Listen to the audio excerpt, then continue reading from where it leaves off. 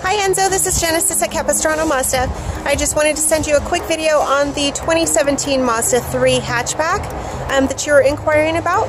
It's right here behind me and we just actually got it in. It's still wrapped in plastic. Um, I am going to send this over to you and if you have any questions give me a call 949-537-9966 and again this is Genesis at Capistrano Mazda.